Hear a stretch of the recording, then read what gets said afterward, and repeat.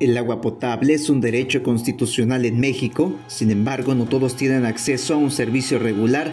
En el caso de Tuxpan existen diversos factores como la falta de infraestructura y un temporal prolongado de estiaje que ha influido en un suministro intermitente, situación que ha llevado a los ciudadanos a sufrir la escasez del vital líquido. Todo Petrópolis batalla con el agua, pero las calles altas, Dovalí, Petróleos Mexicanos, Pajarito y una parte de Salamanca. Batallamos hasta dos, tres meses. Es inhumano estar sin agua. La oficina operadora de la Comisión de Agua del Estado de Veracruz en Tuxpan es la encargada del suministro de agua. Sin embargo, al contar con una infraestructura de más de 40 años, presenta varias fugas que disminuyen la presión y en otros casos provocan la suspensión del servicio.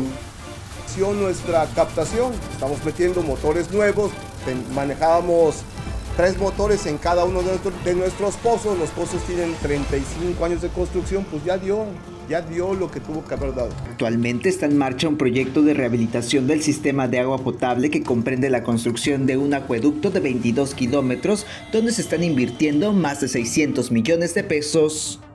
Ahorita la prioridad es hacer la nueva línea de conducción porque de ahí se va a derivar poder traer más agua para, para toda la ciudad de Tuxpan. Pese a contar con la infraestructura para la captación y suministro de agua, el estiaje provocado por el cambio climático disminuye los niveles del río Pantepec, lo que dificulta la captación. Y ahorita muy difícil que las lluvias se nos vengan.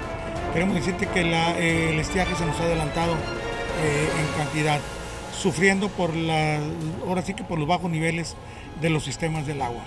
Cabe mencionar que de acuerdo con el monitor de sequía del Servicio Meteorológico Nacional, la entidad veracruzana ya registra sequía moderada en 85 municipios, en los que se encuentran Cazones de Herrera, Tantima, Tecolutla, Tepetzintla y Tuxpan.